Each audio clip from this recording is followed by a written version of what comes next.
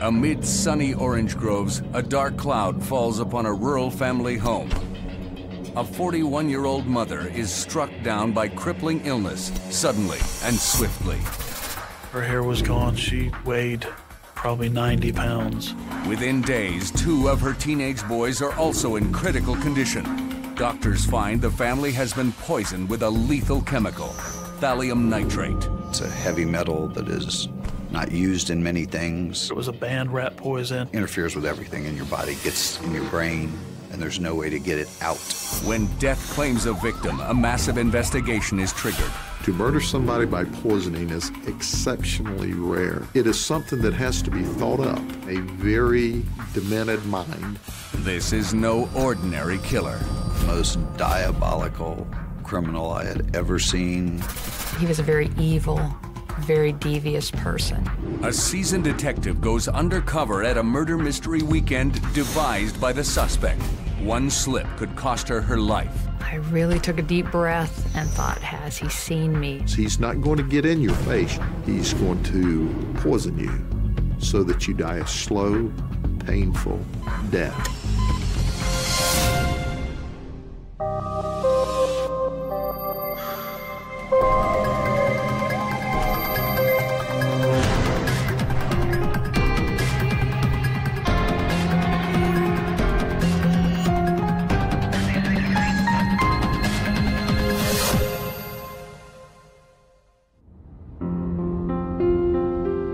Drive far enough along Highway 60 into the heart of Central Florida, and you'll hit Alturas, a town of 500. Citrus groves outnumber people, 20 to 1, and there are lakes as far as the eye can see.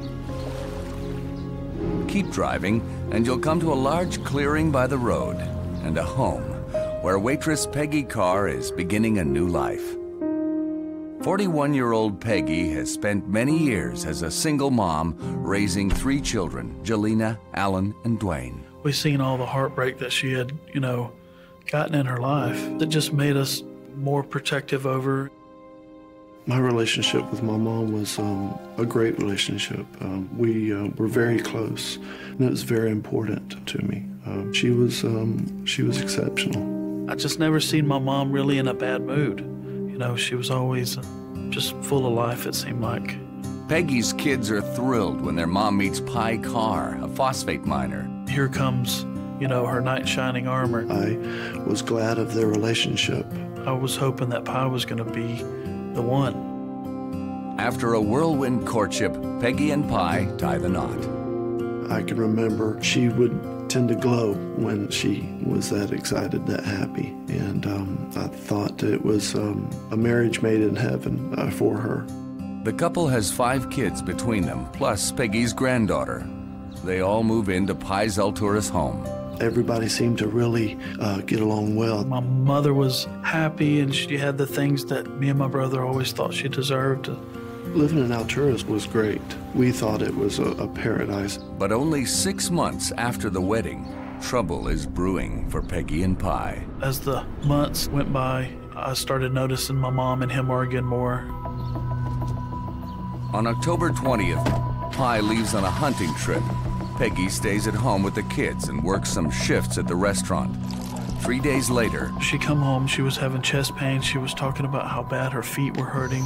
I mean, they were just excruciating. And I was like, Mom, your feet always hurt, you know, you're, you're a waitress. And she's like, No, no, my feet are hurting. within half an hour, Peggy is vomiting and in so much pain she can barely move. Pye returns home from his trip, and his reaction shocks Peggy's son Dwayne. Pye didn't want to take her to the hospital. Unable to convince Pye, Dwayne turns to his sister for help. I specifically remember my sister saying, No, I'm taking her. I'm taking her to the hospital. He's like, No, no, no, just it's flu. It's a flu. It'll, it'll pass. Late that night, Pye finally relents. I physically picked her up out of bed because she couldn't walk and carried her to my sister's car because she was in agonizing pain Doctors run a battery of tests. and couldn't find anything and released her. You know, she's still in agonizing pain. They give her some sort, sort of pain medication. Within three days, Peggy is back in the hospital, this time in the intensive care unit. She kept on getting worse and worse and worse. The doctors are baffled by her deteriorating condition, and whatever it is seems to be contagious. Both Dwayne and his stepbrother Travis are rushed to the hospital. We were both throwing up, super dehydrated. I never could eat anything.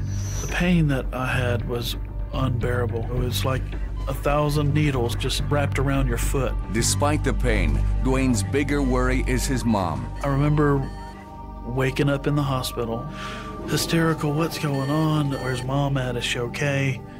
Dwayne is wheeled up four floors to visit Peggy. He's unprepared for what he sees. Her hair was gone. She weighed probably 90 pounds. They had a cap on her. They didn't want to give me the shock of my life to see her laying there. She was able to write on a notepad. My feet hurt, my feet hurt. Dwayne's brother Alan has been away serving in the Navy. He takes a leave to be with his family. When I walked in and first seen mom, um, I hardly recognized her. Uh, she was real pale. Of course, there were tubes and things um, all over, and um, I don't think that mom understood what was going on. Coming home to that was a shocker. Within a week, Peggy falls into a coma, and Dwayne and his stepbrother show no signs of improvement. There wasn't much that could be done, and we just had to pray. Doctors desperately seek the cause of the illness. Tests for common environmental contaminants are negative.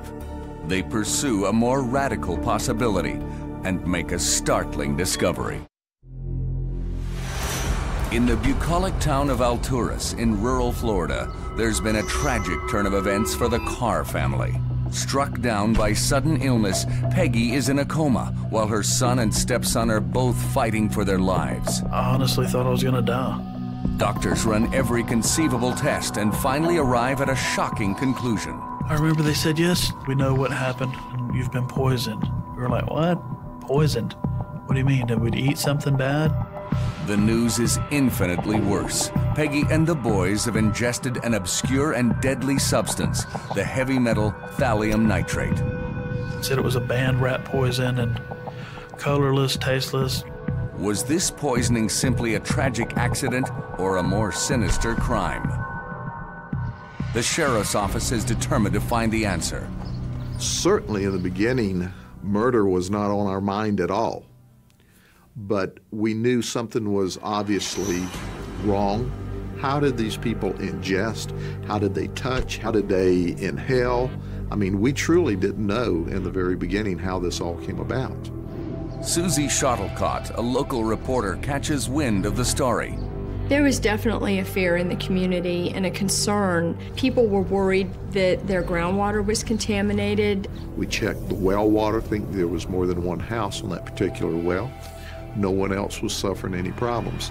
Tests confirm the well is not the problem. Now they're going to determine what the source of that thallium was so they could put out an alert to everybody who lived in that area. We were looking at every possibility. Prosecutor John Aguero joins the investigation. With all of the groves we have is thallium in some sort of grove spray, insect control, whatever it might be. So they had to research all of that. From there, we asked the authorities, What are you doing? What they were doing was examining everything in the Carr household. We thought that it was something that they had probably eaten, something they had drank. The sheriff's office swabs hundreds of items, searching for the source of the contamination. They pretty much scoured the house from front to back. We found the Coca Cola bottles had been tampered with, and someone had ultimately put thallium in the bottles and replaced the top. Coke laced with the odorless and tasteless thallium. This could be a case of product tampering and the beginning of a nationwide catastrophe. They had people down here who were scared to death to drink Coke. An investigation is launched. The initial step was to look at the bottling company and see what could have happened there. The Coke bottles don't come off one at a time and go one, two, three, four, five, six, seven, eight. They're in a huge bunch of bottles that come down this thing, and there's no way for it to have been contaminated at the plant and then end up with all eight bottles having thallium in them. That's just not possible. It turned out it was product tampering, but it was at the home. It was not at the store or at the site of where they make Coca Cola. It appears this was a targeted attack, a deliberate attempt to poison the family with a highly toxic chemical.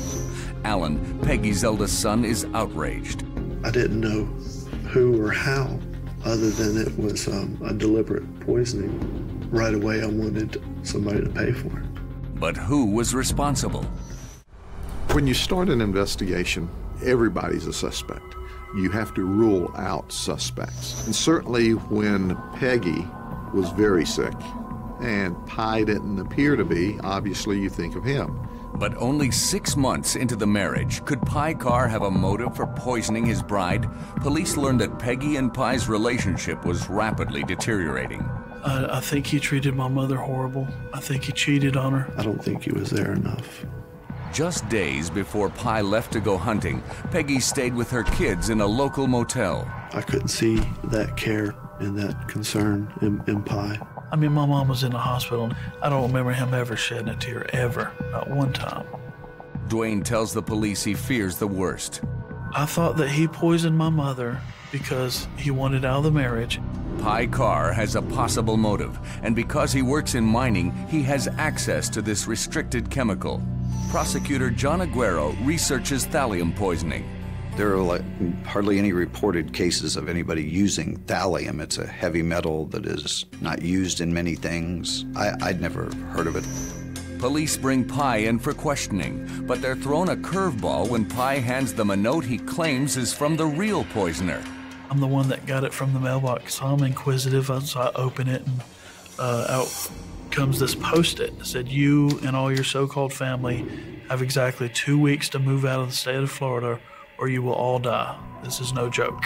It's addressed to Pye Carr with Pye's unique name spelled correctly, which John Aguero finds significant. Had this note that was written to Pye Carr, P Y E, it's not spell it like a piece of pie. To write it like that was unusual, and whoever wrote this note knew that. Brought it inside. My mom immediately, you know, didn't think it was near as funny as I thought it was. You know, the kids were laughing and giggling, and uh, oh, it's just somebody, it's just somebody down the street. She, uh, no, I'm taking it to the police, and she was very upset about it. But Peggy never takes the note to the police. Instead, it's shoved in a kitchen drawer. But why did Pye wait until now to bring the note up with the police? Is he trying to shift the focus away from himself? Her husband was a suspect, Pye Carr, obviously. Surprisingly, tests reveal Pye has thallium in his body, though he has not fallen ill. Pye was a suspect, but he had some of the coke himself. He could have taken a small dose to throw detectives off, but it turns out that almost everyone in the household drank some of the poison coke, even if they haven't gotten sick. Is Pye Carr the wrong man? A sunny rural Florida town is the site of a dark and twisted crime. Soft drinks laced with thallium nitrate have been planted in the Carr family home. Peggy Carr's in a coma, and her son and stepson are fighting for their lives. Son Dwayne thinks his mom's new husband, Pye Carr, is responsible. I really thought that Pye done it. Though Pye has been the prime suspect, some things don't add up. The whole family, including Pye, drank the poisoned Coke. Everyone in the house had thallium in their system. And months before the poisoning, the family had received a threatening note that suggested they were all targets. Exactly two weeks to move out of the state of Florida, or you will all die. Reporter Susie Shuttlecott learns from the police that the poisoning of the Carr's household may not have been the first. Two of the Carr dogs died suddenly within a couple weeks of each other. And the way they died would suggest that they had ingested something. The dog had started losing hair. One of the symptoms of thallium poisoning. Was this a rehearsal for the poisoning of the family? In this idyllic rural community, who could want this family dead? An investigation starts from the center and works out starts from the home and works out. Alturas is a very small community, a few hundred people. we started narrowing those people down too. I think interviewed every single person that lived in Alturas. No one in the community seems to have a motive. Police often turn to FBI profilers for insight. Mark Young has dealt with numerous cases of poisoning. The poisoner often feels like uh, that they've been wronged and wants to correct what they perceive as, as something that's been done to them or is aggravating them. The complexity of the crime helps narrow down the suspect list. The type of poison used was, was not something that you just go buy off the store shelf. So there's some level of criminal sophistication. Coca Cola agreed to do some testing for the sheriff's department. There's only four, I think, thallium salts, and they introduced each of them into Coca Cola, and only one of them would not discolor the product or make it bubble out of there faster than you could get the cap back on and that was thallium 1 nitrate. And that's exactly what we found. That tells you that you're dealing with somebody that uh, has a high intelligence level. Whoever concocted this toxic cocktail knew what they were doing. As the investigation unfolds, Dwayne and his stepbrother are gradually recovering, but Peggy remains in a coma, barely clinging to life. I remember me thinking and hoping you know, everybody tells you, uh, she can hear you talk to her, she can hear you. The doctors have a difficult conversation with the family. That it had um, progressed to the point that uh, she wasn't going to survive. She's not coming back. She's brain dead. It was time to take her off of life support. It wasn't her. She wasn't there anymore. We stood there by mom's bed. We kind of took a few minutes to say uh, goodbye. They uh, said that you're going to see her lungs inflate and deflate, you know, quite a few times, and then, uh, and then that's it. That's what happened, and she was gone. The Carr poisoning is now a homicide, but police still haven't identified a suspect capable of committing this well orchestrated murder. To murder somebody by poisoning is exceptionally rare. It is something that has to be thought up in a very demented mind by a very brilliant person who thinks that they're smarter than everyone else. Police keep interviewing the locals and finally connect with the folks that live a heartbeat away from the Carrs, George Trepal and his wife Diana. They discover there had been several confrontations between the neighbors over music played too loudly by the Carr teenagers. He comes around and, you know, uh, comes around the fence and, uh, I want to speak to your mother. I want to speak to your mother. And they had words. They weren't kind words. And Peggy Carr tried to be conciliatory. Sorry, it's a little bit too loud. I'll tell him to turn it down. It won't happen again. And he just ranting and raving and cursing. And he even threatened to report the Carrs for renovating without a permit. We're going to turn you in. We're going to turn you in. Peggy had tried to be a peacemaker. Told us, you know, we have to live beside this man. He's not going nowhere. We're not going nowhere. We have to befriend this man. We cannot, you know, it's getting worse and worse and worse. The houses were very close together, so I'm sure that they could easily hear the music. There were just things that most neighbors encounter, really. Although the dispute doesn't seem like a strong enough motive, the proximity of the houses would give George Trepal easy access to the Carr home. There's nobody else around. I mean, it's just those two houses and then there's nothing. People tend to notice strangers, and under intense police investigation, those details come out. And that stranger identification did not happen in this case. That tells us that the offender must be somebody that lives nearby. But who would ever suspect a poisoning over a neighborhood disturbance, over some kids playing a television or a radio too loud? Police interview George at his home. He tells them he doesn't know anything about chemistry or thallium. When they ask him why someone would poison the Carrs, he immediately states, perhaps to get them to move. The same message contained in the threatening note. Coincidence or something more? In Polk County, Florida, police scramble to find the person who killed Peggy Carr with poison. The 41 year old mother drank an innocent looking bottle of Coke, but it was laced with a rare and deadly chemical, thallium nitrate. Peggy Carr suffered for months and months. While searching for the killer, police discovered that there was bad blood between the Carrs and their neighbor, George Trepal. We knew that he had a high IQ. We knew that he was a member of the Mensa Society. An exclusive social group for people who score 98% or higher on an intelligence test, which fits the FBI's profile of the offender. The more of that planning, the more of that sophistication you see, the higher you might think that this person's intelligence level is. You might also believe that this person has some type of grudge that that would have um, the, the word I like to use is leaked somewhere in previous encounters with these people and even other people. Trepal is a software developer who claims to know nothing about chemistry, but that turns out to be a lie. We did a background on George Trepal and we knew that he was a chemist. George Trepal knew chemistry all right, a skill he used to make illegal drugs. George was involved in a methamphetamine ring in the 70s, and we found out that he was ultimately arrested for that. There's one chemical this ex-con used extensively, thallium. It's considered a byproduct of a methamphetamine manufacture. And while serving a few years in prison, George actually taught chemistry to other inmates. But investigators are a long way from proving George Trepal is their poisoner. When you have a good feeling that a person is, is responsible for a crime, you can't take that to court. More information was needed to pinpoint this as the right person. Police solve many homicides through interrogation, but decide that approach won't work in this case. Trepal was an intelligent person and, and, an egotistical person and felt that he was smarter than the police. Grabbing a guy like that and bringing him in will only make him shut down.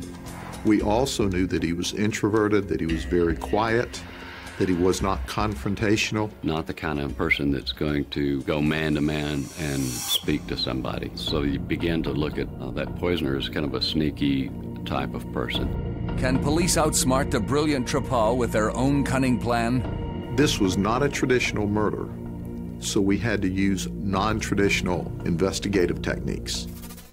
They bring in seasoned detective Susan Goreck of Special Investigations to run surveillance. I started looking through his trash. We were looking for any type of evidence that he may have discarded and possibly um, something about um, some type of chemical purchase. Day after day, Susan and her team observed George, hoping to gather evidence. And I was told to be careful because the person had a photographic memory, so if he saw us, that he could remember our cars or our faces. But nothing incriminating is found.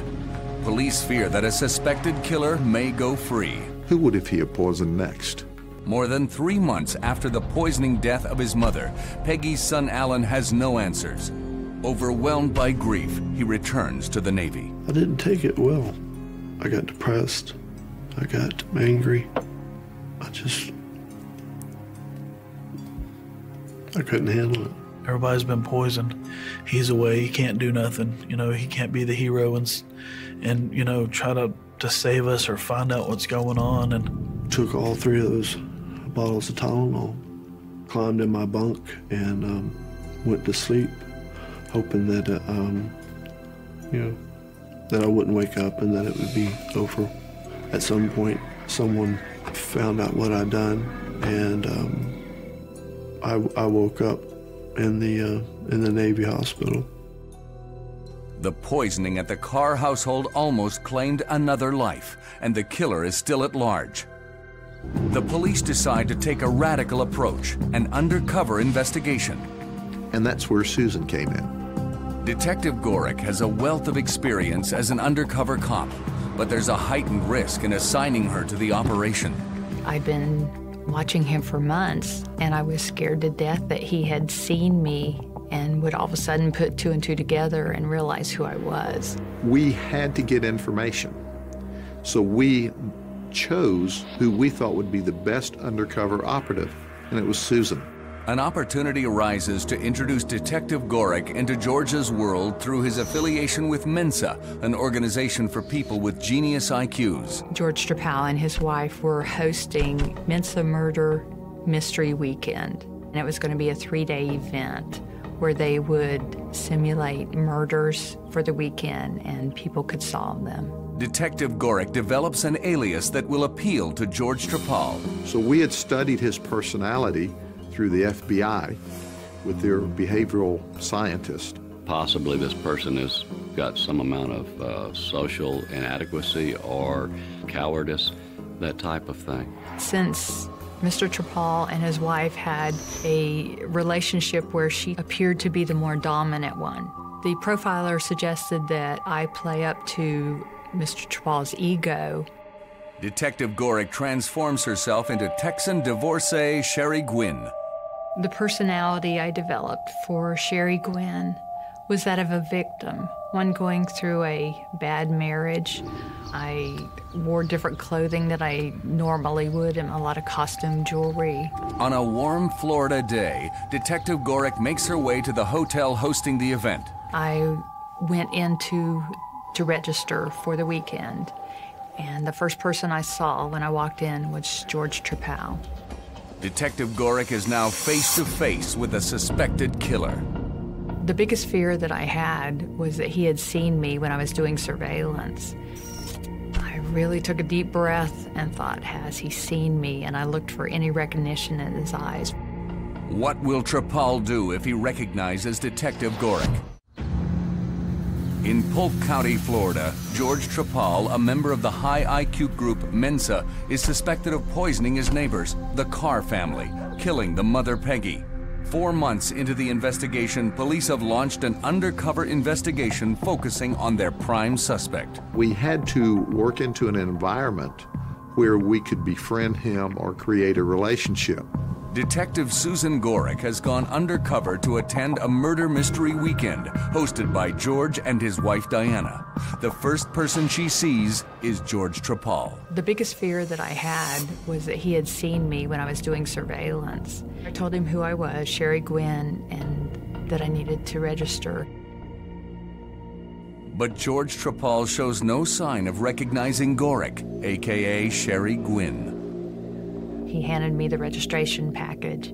Detective Goreck discovers that she has to juggle yet another identity, the character she's playing in the murder mystery. The name that he had assigned me was Roberta Putnam, a socialite from San Cristobal that dabbled in voodoo. Drinks are served and the game is on. There was over 40 people there. Participants are dressed up for their roles, everything from priests to CIA agents. There was a hooker, there was a voodoo priestess. George warms up the crowd with some jokes. He got up and told jokes about attorneys, and they were not flattering jokes. George really hated attorneys. Goreck hones in on George and puts this information to use. When he asked me about my background, I told him that my husband was a lawyer from Houston, Texas, and that I had left him and moved here. Will George buy her story? Talked about how he knew someone was lying by the way that their neck muscles moved. It made me very nervous. Kept talking and hoping that he wasn't using me as a test subject. To Goreck's relief, she seems to be connecting with George. He had a lot of ideas, and I just let him talk, and I played up to them. Suddenly, an announcement. The weekend's first make believe murder has been discovered. It rather caught me off guard. And it's a poisoning. In staging this scenario for the game, was George Trepal drawing on personal experience? I found out that there had been a threatening note, and immediately my ears perked up because a threatening note. A background to the case written by George is even more chilling. One of the paragraphs that he wrote in this report said, When a death threat appears on the doorstep, prudent people throw out all their food and watch what they eat. Most items on the doorstep are just a neighbor's way of saying, I don't like you, move or else.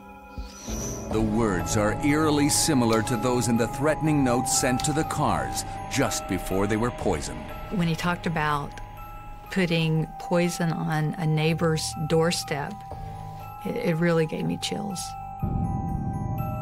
Goreck feels certain they're on the right track. After I read that, I knew that it was just not coincidence. Before the weekend wraps up, Detective Goreck has one last chat with George and his wife Diana, a doctor, and gains valuable information. George said that they were thinking about moving his wife's practice and that they would be selling their house. The detective seizes the opportunity. I told him that I was going to be looking for a house because my husband said he would buy me a house in our divorce settlement. George invites her to swing by for a visit. After I talked to my supervisors, they immediately wanted me to follow up. At a murder mystery weekend in Florida, Detective Susan Goreck has gone undercover in hopes of capturing a real killer. George Trepal, suspected of poisoning his neighbor Peggy Carr, has created a murder scenario for the game. Detective Goreck sees an uncanny parallel between the make believe murder and the real life crime she's investigating. When he talked about putting poison on a neighbor's doorstep, it really gave me chills. In her guise as Sherry Gwynn, a Texan divorcee, Detective Goreck has gained access to George's home. He's planning to sell, and she says she's in the market. Detective Goreck is hunting, but not for a house. Maybe he'd open a closet and I'd see lab equipment or maybe some chemicals or something that would give us enough evidence to get a search warrant for the house. Detective Goreck is alert for anything unusual. He did show me a small secret passageway that he had built into the library. Upstairs, he did have a mannequin that had some, I believe, some bondage type things. Strange, but not grounds for a search warrant. It seems this mission is a bust. When I left the house, I thought that was going to be the end of the undercover role. But to Goreck's surprise, her bosses want to continue the covert investigation to see what else she can learn about George. FBI profiler Mark Young knows what's at stake. This type of person, if they really and truly develop a bond, if they feel that person is worthy, they might want to let them know about the crime. One time I met him at a park to have a picnic.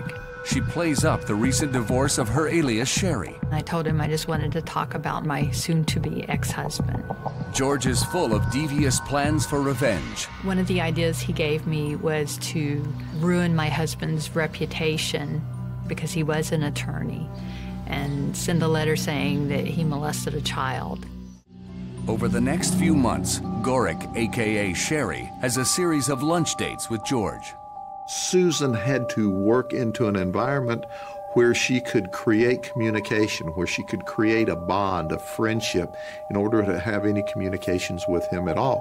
George shares some surprising stories. He had told me about a road trip. They'd take Oreo cookies along the way, but they would pick up hitchhikers and feed them the cookies, and there was hallucinogens in them, and they would watch the people hallucinate. While Susan is in the company of this nefarious prankster, a surveillance team monitors his every move. It was high stress every second for all of us, but it was certainly more high stress for her. I believe she was in great peril of uh, having her food or drink poisoned. Every time I left the table and came back, I would never eat or drink anything else. It's not someone that is aggressive and just shoots someone or stabs someone. They want to sit from afar and watch someone suffer. The longer you're next to somebody that is that dangerous, the, the more danger it is uh, to you. Before I would meet George Trepal, I'd have to go over in my head over and over and over again everything that I had told him. She has to live that role. That took a lot of mental gymnastics to go through. Your life could depend on you remembering everything. It's coming up a year since the Carr family was poisoned, but Detective Goreck hasn't had a break in the case. You may have many, many pieces of small evidence, but if you don't have the whole picture, you may not convict them. Some of the higher ups are questioning the value of the undercover operation. Any type of law enforcement agency has budget problems, so certainly it was causing problems because they needed the personnel other other places.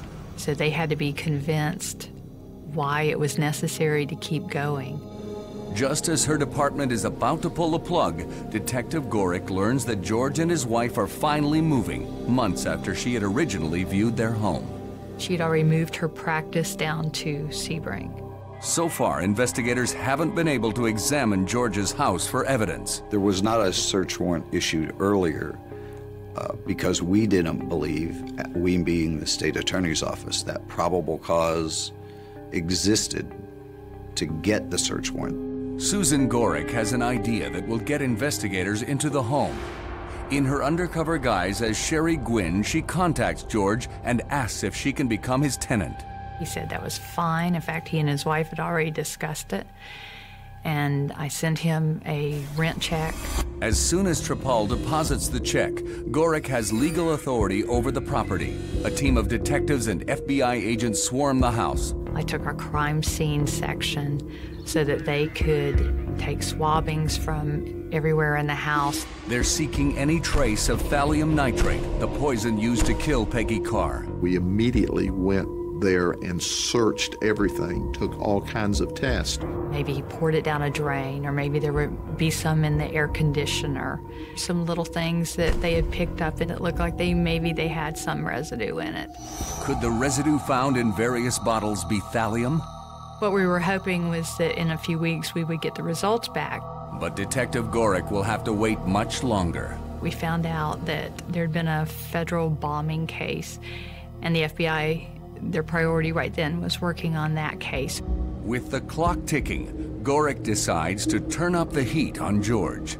I had George meet me at a um, little picnic area behind a McDonald's in Sebring. Surveillance video captures their meeting. How are you? Fine. Good. How's your world going? Well, not real good, and that's what I need to talk to you about. Okay. I told him that I had had two detectives come and talk to me when I moved into his house. I think you neglected to tell me something. Oh, what's that? And I said that something happened in your neighborhood. Oh, oh yeah, somebody got poisoned next door. So, uh, That might not be a lot to you, but it's a lot to me. oh. oh, well, sorry. They said they never caught the person that did it, and it, it really frightened me. He was being very flippant about it. Susan hands him business cards she says the detectives left behind. So I talked about the detectives that had come to talk to me and that they were trying to find him. And he started getting extremely nervous. How fast can you got me? It seems that they were really interested in me. I really don't know what's going on. Now, something just isn't falling into place here. I hope I'm not a prime suspect. that could be messy. Uh, yeah, I would imagine. And I knew right then. There was no doubt anywhere that he's the one that did it. Goreck is certain about George, but has George also drawn some conclusions about Goreck? He asks her more than once to come back to his new house in Sebring with him. So do you want a grand tour the house? Detective Goreck feels she's close to snaring George. She has no idea George has a similar plan for her.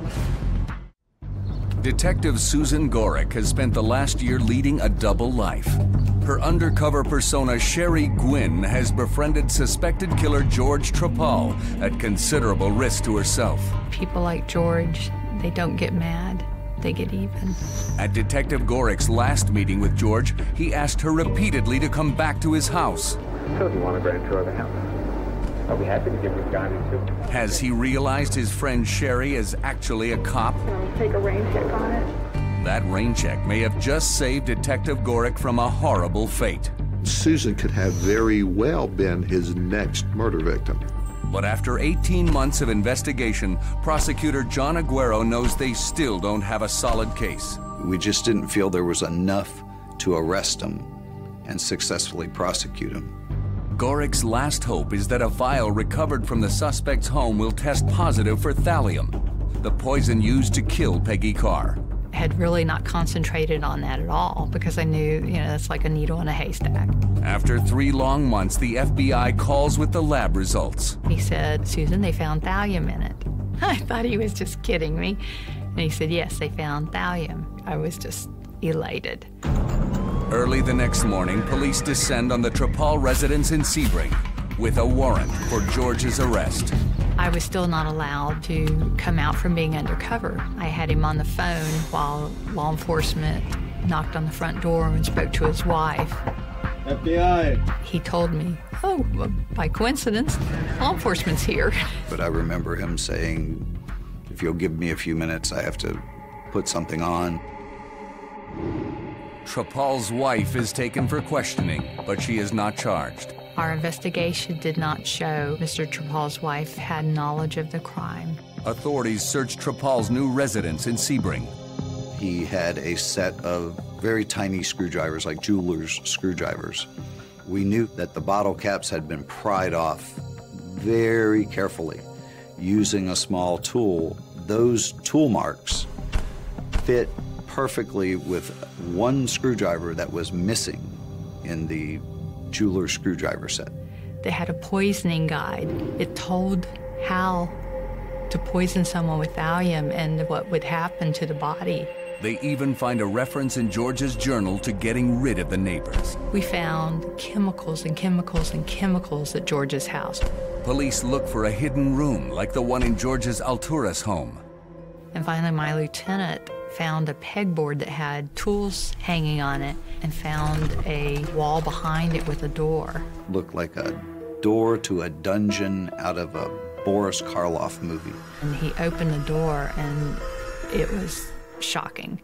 There's no inside door handle, and it was a freshly painted room. The only window in the soundproof space has been sealed. And there was a platform bed, and at the bottom of the bed were wood stirrups. He was building a bed on which to torture people. I, I was so shocked. He even had a pulley system to lift people. So do you want a grand tour of the house? Do you want a grand tour of the house? Want a grand tour of the house? Detective Goreck got very weak in the knees and just had to be taken outside. And I was so glad that I had not gone. They might have not found me. She just saw herself as being the person George had built that for. It was very creepy, very creepy. Nine months after his arrest, George Trepal stands trial for the murder of Peggy Carr and the poisoning of her family. I called him the most diabolical criminal I had ever seen. Thought that he had figured out the perfect crime, and it almost worked. After four hours of deliberation, the jury returns a verdict guilty on all counts. George Trepal is sentenced to death. He might have had a higher IQ than most of the world, but he certainly wasn't smarter than Susan. I was relieved because the family needed closure. Two teenage lovers run away together in search of freedom and adventure. He loved her a lot. He had asked her to marry him. He treated her very well. Wanted to like protect her from everything. The young girl's anxious parents report their daughter missing, but are they too late? They were going to flee the state. Then we started really getting concerned. The couple's friends are in no hurry to help the police find them. The one thing we always did was we always backed each other's play. They never thought this adventure was going to end up the way it did. The young man found brutally bludgeoned to death along a railway track. It looked like somebody had just been brutally beaten about the head. The 16 year old girlfriend vanished without a trace. Who did this? If she was with someone else, this would be against her will. My biggest fear for her at this point is that she is dead.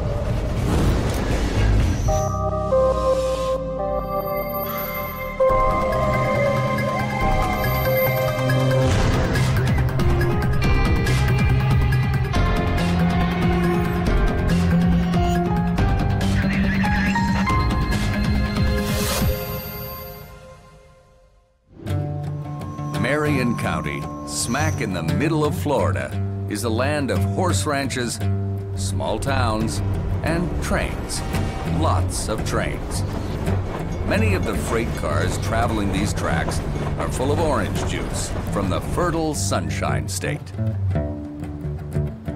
But it's along these tracks that a train crew makes a grisly discovery.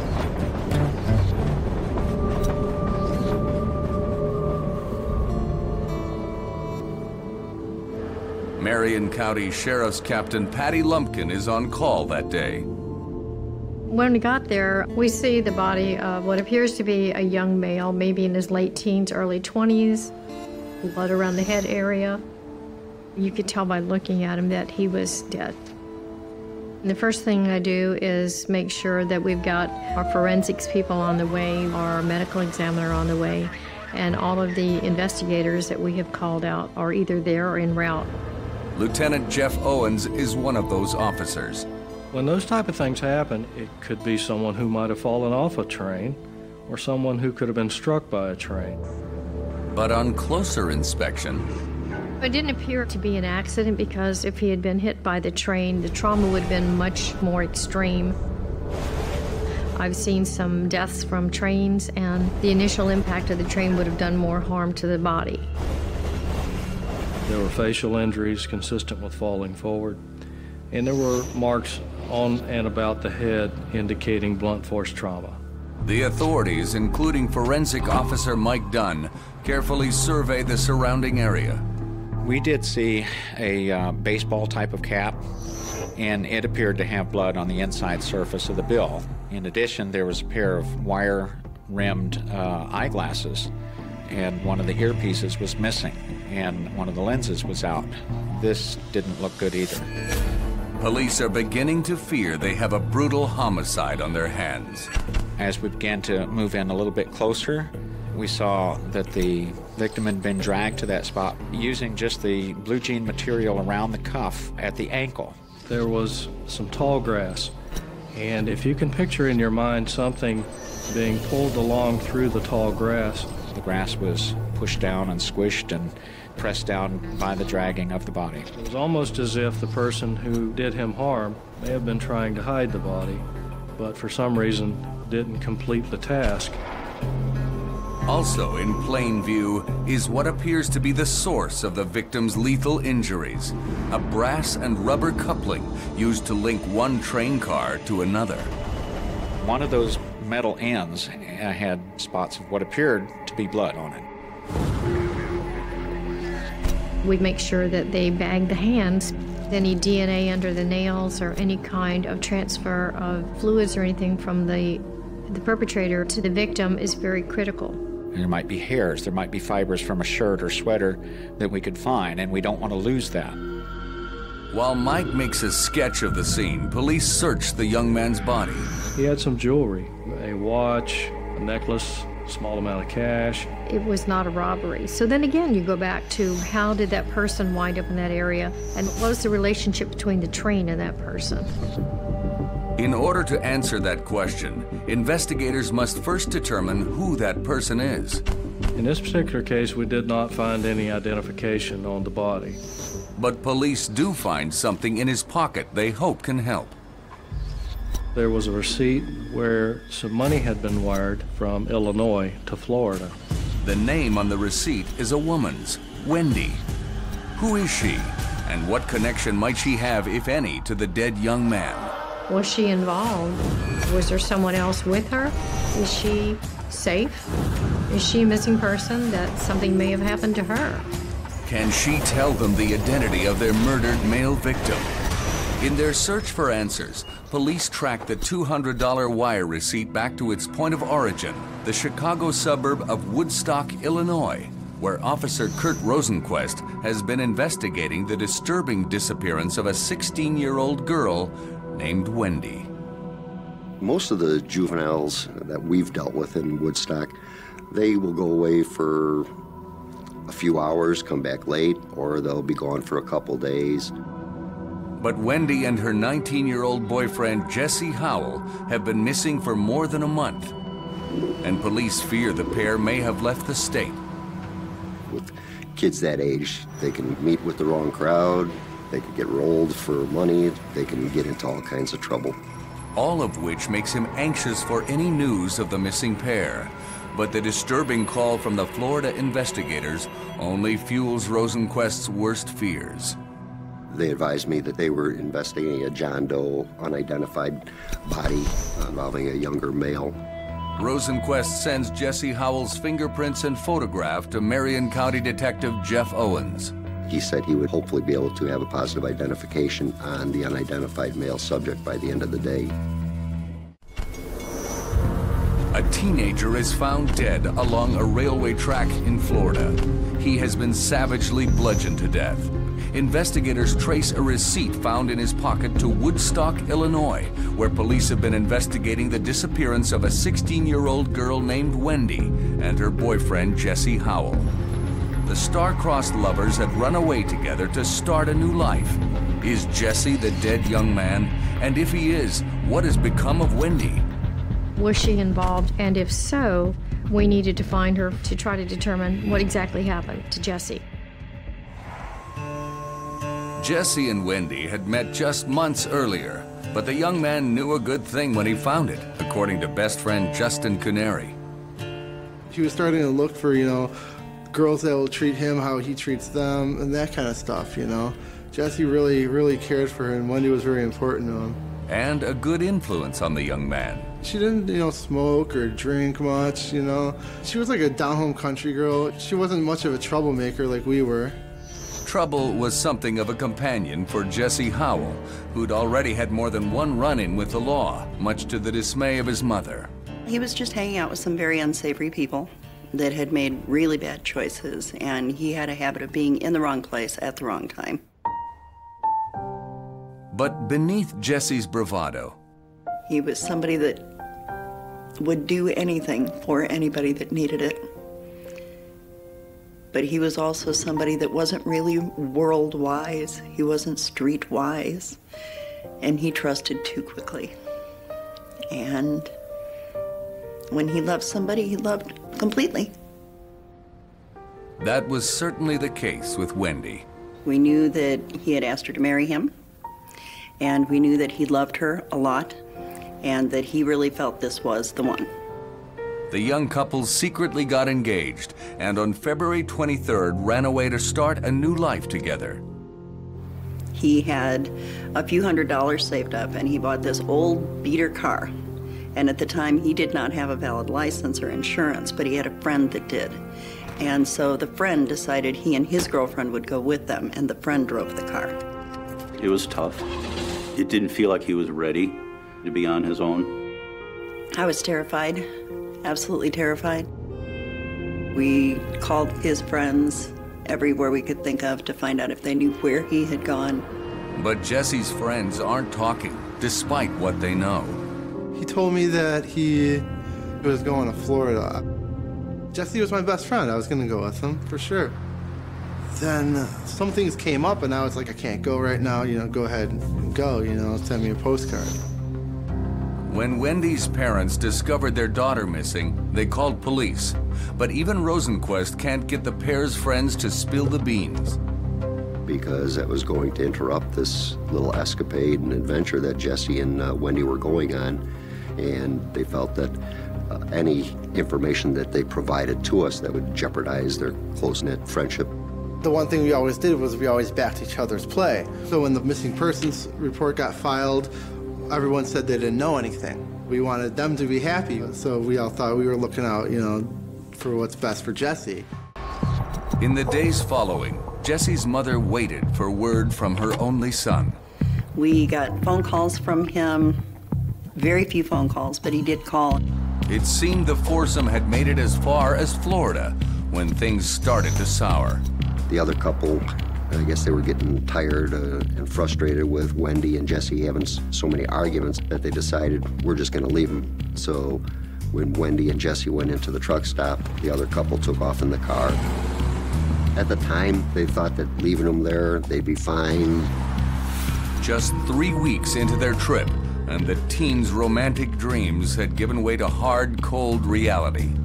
We were advised by Wendy's parents that Wendy had contacted them saying that she wanted to come home and asked if they could send some money. It was at that time that Wendy's parents Western Union $200 for Wendy and Jesse to pick up so they could take a train or a bus home. Three days later, Jesse called his parents to let them know he was on his way back. We felt so encouraged. He was going to come home and face up to everything and get his life back on track. It felt, it was relief. He realized that he needed more than just what he was capable of doing at that point. We offered to send a train ticket, and he said no, it was okay. And that was the last I heard from him. He told me he loved me, And that was it. Though the pair collected the $200 sent to Wendy for their return trip, checking with Greyhound and the different train stations, uh, nobody matching their description boarded buses or trains back to the Woodstock area. Now, a week and a half after the teens spoke to their parents, Rosenquist is waiting to learn from Marion County investigators whether the beaten body found by the Florida railway tracks is that of Jesse Howell. About 5 o'clock that afternoon, Detective Owens gave me a phone call. They had made a positive identification that the unidentified subject was, in fact, Jesse. Kurt Rosenquist prepares for the part of his job he hates the most. Death notifications to family members when it's somebody old or had some health issues is one issue, but when it's a homicide, it makes it even harder. He said that Jess had been found along the railroad tracks in Florida and that they had identified him. They, had, they were sure it was Jess. The next train going through had seen him and that he had been killed by blunt force trauma to the head. But Becky Howell continues to hold out hope that the murdered teen is somehow not her son. We never got to see him, so it's very hard to have closure. I talked to Patti Lumpkin about it. At the autopsy, crime scene investigators always take a lot of photographs. So we cleaned up the photograph from the neck up and sent it to Becky and said, Is this Jesse? That was very hard. I cried. He was he was just laying there and it was him. And that put the nail in it. It was that's it. That's him. I know there was shock and grief. They never thought that this little adventure road trip that Jesse and Wendy went on was going to end up the way it did. And of course, then they were also very concerned where Wendy was. There was nothing that was going to bring Jess back. And there was no sign of any kind of violence that would have happened to her. There was nothing. And we just knew somehow Jess was dead and Wendy was gone. Lumpkin and Owens step up their search for the missing teen. We weren't sure if Wendy had been kidnapped, abducted, or if she ran away further because of some issues between her and Jesse. So the correlation between her and the crime scene was critical, finding her. Police use helicopters to scour for miles in all directions, and officers on the ground do a grid search. You're all walking, you know, shoulder to shoulder with the arm's length between you. There's nobody just walking around because anytime you do that, you can trample on evidence and you can destroy your case. But they find nothing at the scene that leads them to the missing girl or the young man's vicious killer. We don't have that person's hair, DNA, fibers, blood, uh, nothing of that other person that was there. We don't have that. Even though we knew that we had the body of Jesse Howell, I think the critical thing at that time was where was Wendy? Marion County, Florida investigators have a double mystery on their hands. Who bludgeoned 19 year old Jesse Howell to death, then left his body beside a railway track? And what has become of his 16 year old girlfriend, Wendy? We need to know is she okay? That's the critical question. Police comb the surrounding area but find no sign of Wendy or any clues as to the identity of Jesse's killer. It's difficult enough for the Jesse's family to deal with this situation, but it's doubly difficult because Wendy's family doesn't know what happened. Nor do investigators. Did a suspect kill Jesse to get Wendy? Did Wendy and Jesse have an out and Wendy somehow hurt Jesse? She may have just fled the scene or left the area. Whether she was on her own, we don't know. She and Jesse were in love with each other. They were committed to each other. And so if she was with someone else, it seemed to me by all things that I had learned that this would be against her will. News of the young man's tragic fate quickly makes its way to the couple's friends. I, I remember hearing the phone ring, my sister talking on the phone, and then she she hung up, she hung off the phone came downstairs, and she told me to sit down. I was like, oh no, you know something bad happened, and my, then she started crying. You know, and all she had to say was, you know, his name. She couldn't even finish the sentence, and I knew right away. And Justin's grief is compounded by haunting guilt. There were things I could have done. What if I could have, you know, talked him out of it? What if I, you know, what if I had stopped him from going? I could have saved him, you know. Now investigators are determined to find Jesse's girlfriend. Police and volunteers paper the southeastern United States with posters and distribute flyers along the Florida to Illinois route. We also try to do it through the truckers network because there are a lot of truckers there and they see a lot of things. You know, they're a great avenue of information for you. And police return to the tracks. Might a homeless rail rider have seen something that could help solve the case? investigators enlist the help of the railway authorities. There's a very well defined railroad police network in the United States. They have a reputation of being very well in tune with the homeless population. And they start talking to some of the transient people that live there among the tracks in what they call their hobo camps. In the meantime, Florida and Illinois police investigate every sighting of a young woman matching Wendy's description.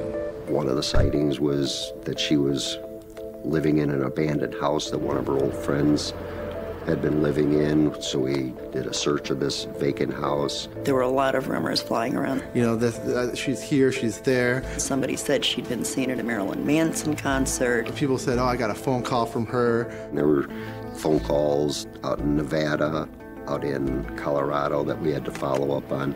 Those were all found to be uh, false leads.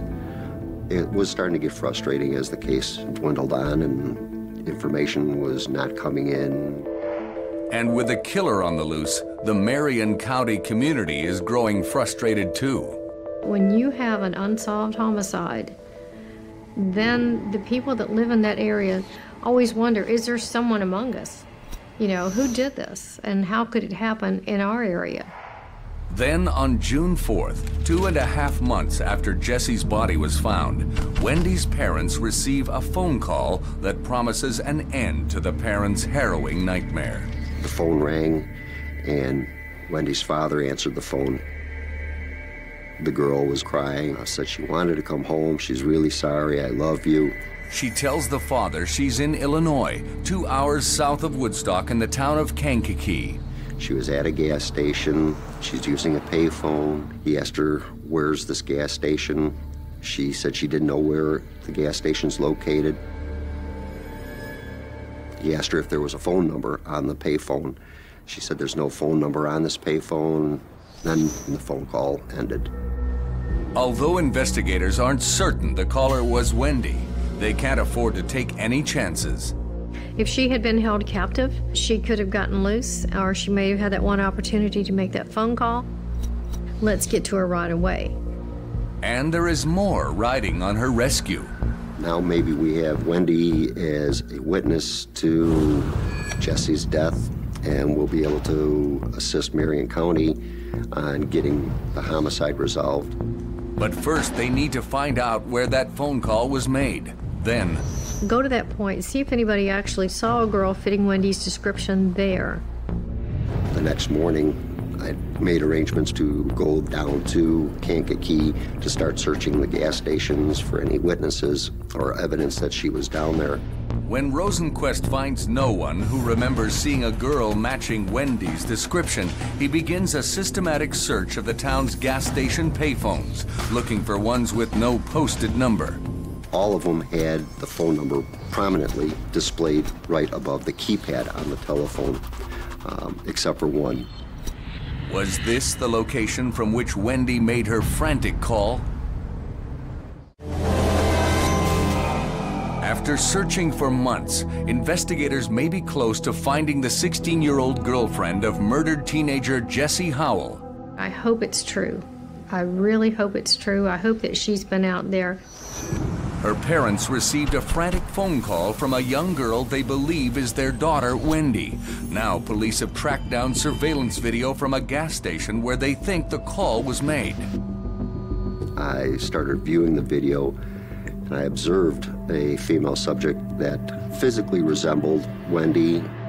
I wasn't going to say 100% that it was her, but it was right at the time frame that the phone calls being made. They show the tape to Wendy's parents. So when Wendy's mom said it was definitely her and there was other family members thinking it was her, we had to treat it as a bona fide sighting. It means we've got another lead that we've got to find Wendy. That the possibility of her being alive is great. Our hopes were really high at that point. This would be wonderful if somehow Wendy had made it back to her home state. And so the feelings at that point were guarded optimism. As a result of this video, we subpoenaed the phone records of Wendy's parents to make sure that this phone call was made from that gas station. When investigators receive the information five days later, their hopes are dashed. It indicated that the phone calls made to Wendy's parents did not come from that phone at the gas station where we had retrieved the video. Uh, it turned out it came from a different gas station and it had the flyers that we had posted Desperate for news of their daughter, Wendy's parents had added their home number to the posters. Keep in mind that Wendy's parents were extremely stressed through this whole ordeal. Uh, that sometimes can skew a person's view or actually uh, hearing a voice on the phone, things of that nature. Unfortunately, it seemed like this was a very cruel prank or joke being played on Wendy's family. Police believe it was someone pretending to be Wendy who had called the parents from one gas station. While across town, a girl resembling Wendy had coincidentally entered the gas station convenience store. Investigators are shocked by the callousness of the caller. How somebody could be so cruel to make a phone call to a family member, pretend that it's your daughter who's been missing for months. I can't fathom someone who would play a prank like that and get the parents' hopes up. It, in, in my vision, it's disgusting. Can imagine putting myself in that place, saying that uh, I've got someone missing, and all of a sudden they're calling, they're crying, "Help me!" and you have no earthly way of helping them. You can't get to them. You don't know where they're at. Uh, all of a sudden they're gone again, and then your life is shattered one more time. That's a cruel roller coaster ride. As more months pass without any sign of Wendy, investigators grow increasingly disheartened. Our detectives would keep case files and case books. So the books were always in front of you with the, the name of the homicide victim on the spine. So you always had that in front of you somewhere. It's frustrating when you don't solve a case rapidly, and the colder a case may get, the harder it is to solve. It is generally up to you on how to deal with that frustration. Do you shrug and, and give up? Uh, I don't think we ever really give up. Jeff Owens almost became my best friend. I drove them crazy. I drove Patti Lumpkin crazy, I'm sure. I was constantly calling them, constantly calling the offices. We needed to know what was going on. We needed to know if Wendy had been found. My biggest fear for her at this point is that she is dead.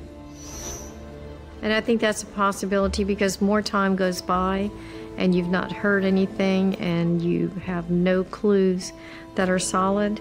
We were hitting a brick wall at that point. A year passes with little progress. Hopes of finding Wendy are beginning to fade. Then, investigators receive a call from the railroad authorities with a very promising lead. Near the town of Jacksonville, we got word that one of the homeless guys mentions, I know a guy named One Legged Bob who is traveling with a girl and could very well be responsible for the murder of her previous boyfriend. 16 year old Wendy has been missing for more than a year, and the investigators who've been tirelessly searching for her have run out of leads. You always hope for the best, but as they say, you prepare for the worst. They return to the railway tracks, where they learn that a hobo with a criminal record and the nickname One Legged Bob is rumored to have been involved in killing Jesse Howell and may know Wendy's whereabouts. This is an extremely important lead for us. We've got to find who One Legged Bob is, and does he have a girl with him? But how to track an elusive hobo? We did a lot of research on him. We tried to determine what sort of past he had. One Legged Bob did have a criminal record. I think his traveling, his transient uh, life was something that would be a possibility for someone to be involved. Police once again enlist the help of the railway authorities. It was just a matter of weeks before they called me right back and said, Jeff, we found one legged Bob. Do you want to talk to him now? Owens quickly makes his way to Pensacola, Florida to talk to the potential killer. One legged Bob was your typical, what you might consider a homeless person, kind of scruffy, hadn't shaved in a few days. And he had a prosthetic leg that helped him get around. So, for someone who you might consider crippled, he was far from crippled. And well capable of the murder of Jesse Howell. I spent the next seven and a half hours interviewing him about what knowledge he had of this case, how involved he may or may not be. It was exhaustive. Have police finally found the person responsible for Wendy's disappearance and Jesse's murder? Throughout this lengthy interview, he didn't trip, he did not falter. It's a series of those type of moments that a seasoned investigator will start to get the feeling and the confirmation that I'm dealing with the wrong guy. We really couldn't connect him to her. There was nothing we could do except release him. Investigators are deeply disappointed in their inability to solve either case, and they're not the only ones. For us, it was horrible. It was excruciating, but we knew where our son was. We knew what had happened and where he was, and they had absolutely no idea where their daughter was. And that's got to be horrifying. If I didn't know where one of my daughters was for years, didn't know if she was alive or not, that would, yeah, that would, that would tear me up. I know Wendy's, Wendy's mom uh, held out hope for a, for a long time. But yeah, we all hoped that she was still alive. We all hoped she was going to make it home. Two years after Jesse's murder and Wendy's disappearance, Patti Lumpkin is in Quantico, Virginia, attending a coveted three month training program with the FBI. The privilege of that was great because less than 1% of law enforcement in the United States have that opportunity to attend that academy. Little does she know that her effort to become a better cop will blow her unsolved homicide case wide open. Lumpkin hears from officers attending the course about a murderer on the loose in Texas. I became aware that they were looking for someone that was dubbed the railway killer, the angel of death. He was killing people and either leaving them near the railroad or he was killing them at homes or locations that were close to the railroad. The FBI believes the railway killer's real name is Angel Resendez, charged years earlier for a rash of burglaries across the U.S. But more recently, police had matched his fingerprint to one of a slew of murders, all with the same grisly signature. Most of the victims were bludgeoned to death. It was blunt force trauma. That MO is so strikingly similar to that of Jesse's ruthless killer. Lumpkin has the growing sense she's onto something. They're looking for him out in the west. We're in the south.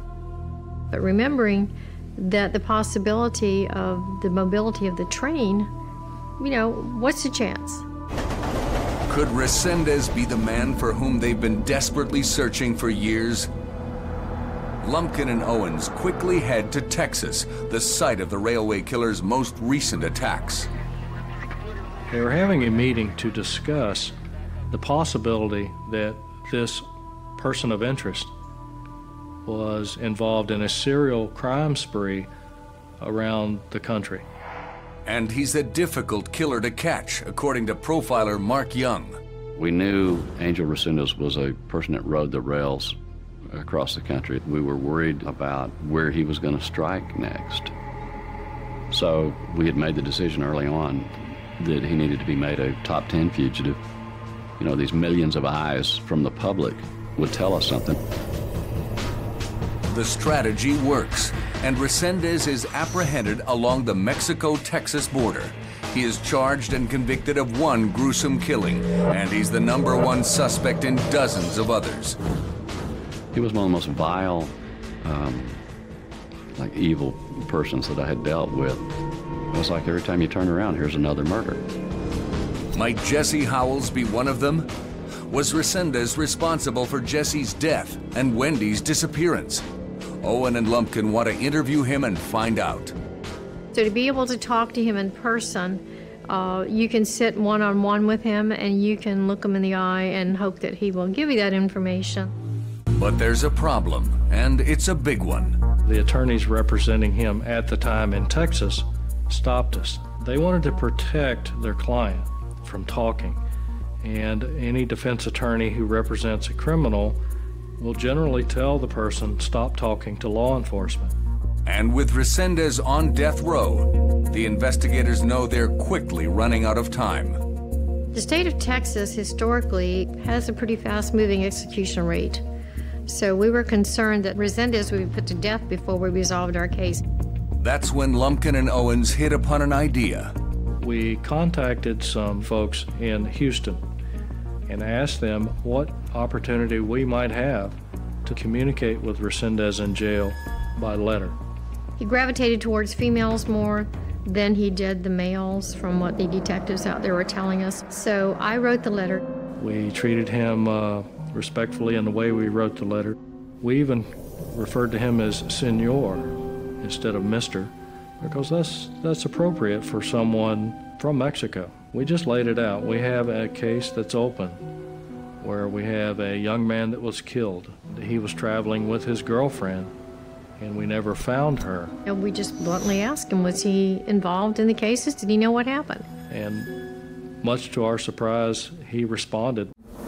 Marion County Police are in a hurry to meet with Angel Resendez, the man they believe is responsible for the Florida murder of Jesse Howell and the disappearance of his girlfriend Wendy. He was on a path to a death penalty in Texas. We didn't have a lot of time. Given the court order preventing them from meeting with the so-called railway killer, investigators write Resendez hoping he'll come clean on the crime. And much to our surprise, he responded by saying he knew all about it. As a matter of fact, he was quick to admit that he was the one responsible for killing Jesse. It is a shocking admission. Can they trust Resendez to be telling them the truth? There have been cases in the past where people falsely confess to a crime. One of the ways to prevent that is not to release all information. One of the most crucial and important aspects of this case was that we had never talked about the murder weapon. Can Angel Resendez provide police with the information only the killer could know? He described the brake coupling that he had hit Jesse in the head with. He knew that. We knew absolutely at that point we hit the target. The investigators are elated. Though they have yet to meet Resendez face to face, they are confident they have found Jesse's killer. But what about Wendy? Does he know what happened to her? We need to be able to sit down one on one with him to talk with him and find out is he going to talk to us? Is he going to tell us what happened? To be certain he's not lying to them, the investigators are prepared to offer Resendez a deal. But first, the heartbreaking task of asking Wendy and Jesse's parents to agree to it. At that point, we went to the families and we said, may we give this killer immunity from prosecution in Florida if he agrees to talk to us. It is not an easy question to ask a family. Uh, okay, we're going to give this person a pass if they tell us what happened. But the long and short of that was that he was going to be executed in Texas. And to be able to give some closure, they agreed to that. To investigators' relief, so does Angel Resendez. As twisted as it may sound, he might have been proud of some of what he did. was another veiled attempt to earn a little more infamy, make himself feel famous. Uh, would we take advantage of that to get him to talk? Sure, we would. Lumpkin and Owens head to death row in Texas for one of the most difficult interviews of their careers. Pressure was great because we knew that this was our one shot. If we didn't do it right, we would never know what happened. The entire case is basically hinging on what he's able to provide. When we get to the prison, we see him coming down the hallway. He has a waist belt on that's an electric shock belt, and he's chained to the belt. All for what appears to be just a regular guy. He's just a, a mild mannered person, but remembering too that a psychopath or a sociopath doesn't have any feeling. I mean, he had dead eyes. He had no feeling in that body. He didn't care about anything. Resendez tells investigators that he was heading south to find work when he met the runaway couple on a grain car. When the freight train stopped and Jesse got off to smoke a cigarette, Resendez told us that he killed Jesse with a piece of the train coupling.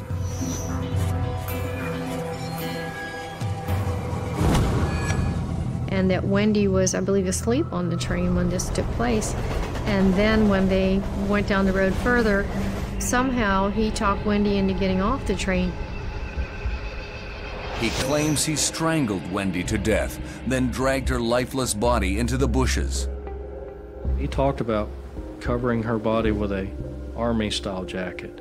He talked about a book that she had been carrying in her backpack. Uh, you got to remember, this was three and a half years prior to this interview, and he so vividly recalled so many of these details. It was sort of spooky. But is he simply leading on the investigators? There was a great chance that even though Resendez told us where he left Jesse, that he was lying about Wendy. There's only one way to find out. While we were sitting there during our interview with Resendez, we asked him, would he draw us a more detailed map? On the map, he drew where the bodies were. He drew where Wendy's body was. After confessing that he'd murdered Jesse Howell and his girlfriend Wendy, Angel Resendez, known as the Railway Killer, has drawn police a map of what he claims is the location of the 16 year old girl's body. But investigators are leery. We didn't know if it was going to lead to us discovering her remains. And not only could he be lying, but he could maybe not know exactly where he did leave her. Three and a half years after Wendy went missing, police returned to the railway tracks in search of her body. Using Resendez's map, investigators travel an hour's drive south from the site of Jesse Howell's murder. We'd gone down the tracks a pretty good distance when you could see, based on the description that Resendez had provided, um, of this big cluster of trees like a canopy, and there was a white farmhouse close by. And we had a big team ready on the ground, and we had some very uh, highly trained dogs to help us. Very shortly after the dogs began their search, that they found a campsite. During the interview at Death Row, Resendez talked about the book. The book was there. We talked about the jacket, the big heavy army style overcoat. It was there. All of these things were there. And police don't have to dig very deep to find Wendy's body. It does break your heart because you know that she is somebody's loved one. She's not just a young girl, she's somebody's loved one. She had a future. Now she doesn't have a future. So it's not a good conclusion, but it's the right conclusion to find for the family. We were grateful for the relief that Wendy's parents would be able to go through now. We knew they would finally be able to grieve their daughter and move on with their lives. When Wendy ran away, um, she had a small engagement ring and she had a Winnie the Pooh wristwatch. Um, during the excavation of the remains and the processing of the crime scene, the ring and a Winnie the Pooh watch were located, and um, I brought those back to Woodstock and gave those to Wendy's parents. Jesse had this, it was just a little like pewter cross that he wore all the time. And um, it was actually on, on his body when, when, when, they, when he was found dead. And his, his mom gave it to me, and I still have it to this day. And it's just one of those small reminders, you know, of, you know, to, to be aware of the decisions I make in my life. There will never be closure. There's no such thing as closure. It's always going to hurt. every March 23rd, I'm going to cry. But it's huge to know that it's done so that you can at least say it's done and move on. In the years following, federal agents continue their investigation into the railway killer. They discover a bloody trail of no less than 15 brutal murders throughout the United States.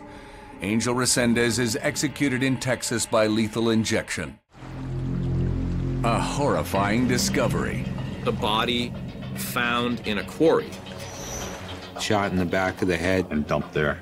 The investigators stumped. It's not only a who done it, it's a who is it. Where do you start? The victim, a middle-aged man with a mysterious past. He was very secretive. They'd met him at coffee shops. And a shadowy lifestyle. This is a lot bigger than the landlord really thinks it was. The missing housemate. Is she a witness? Is she a victim? Is she alive? The friend who's disappeared. Shivers went down my back. Oh my God, we have a possibility of three victims. Is this gruesome attack just the beginning? Did someone from organized crime come in and kill him? Investigators hope science can help solve the crime. We could see that a section of the carpet had been removed. It was blood. It was an amazing forensic puzzle. There was 10 beautiful fingerprints. But will the killer get the best of them? Who actually pulled the trigger? We had a genuine mystery on our hands. It was going to be a long, hot summer.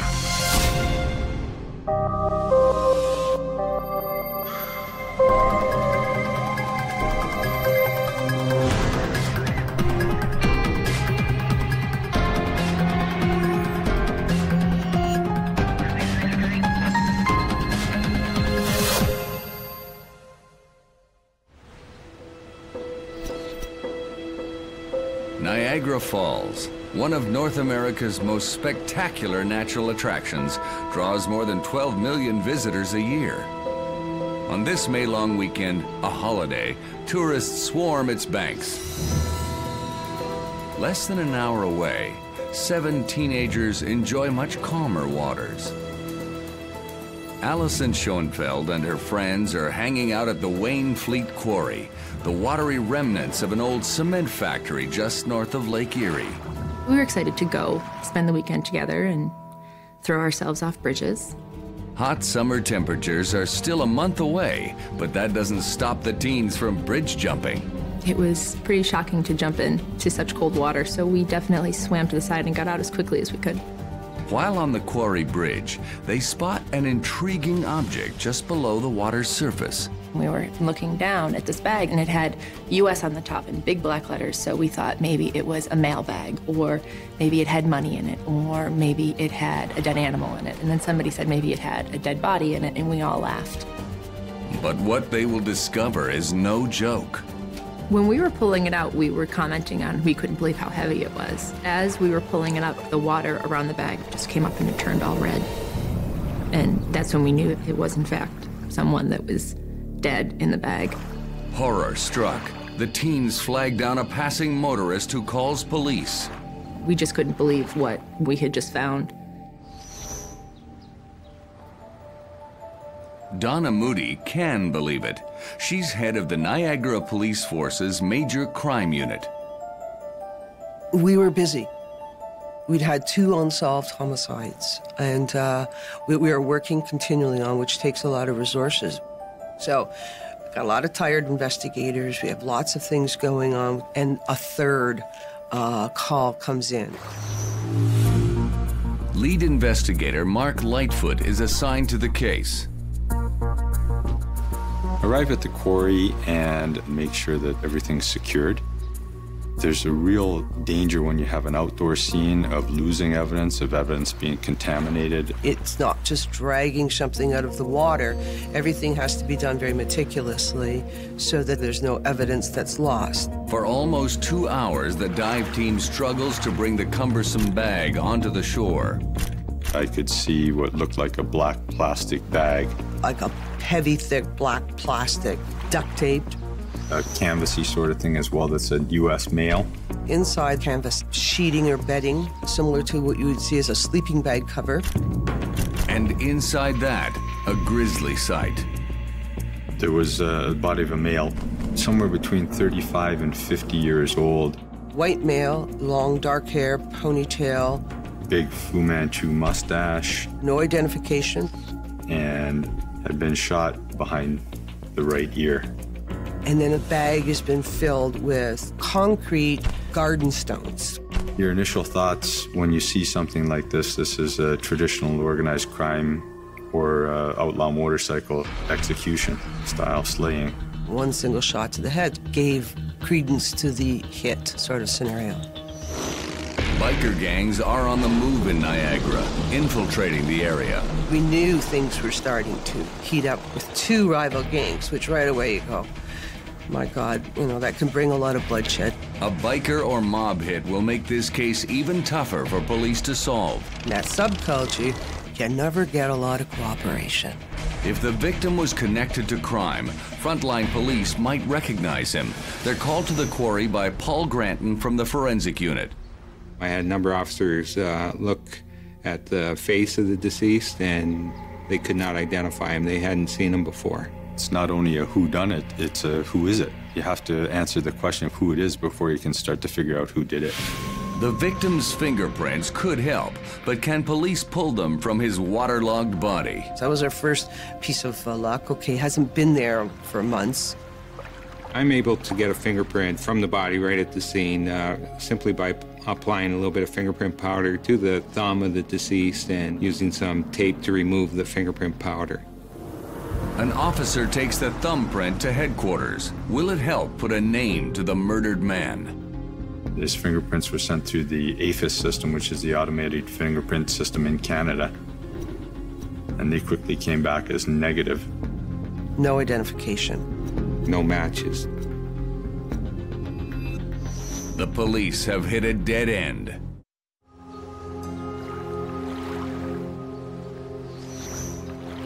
A waterlogged body is discovered submerged in an Ontario quarry.